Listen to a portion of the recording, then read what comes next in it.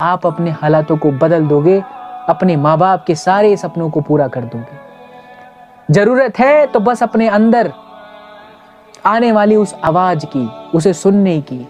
बहाने बना के कुछ नहीं होगा। आसान तो इस दुनिया में कुछ नहीं होता। बस मेहनत करने की जिद जिसके पास है, वो हर चीज़ को आसान बना के दिखाता है।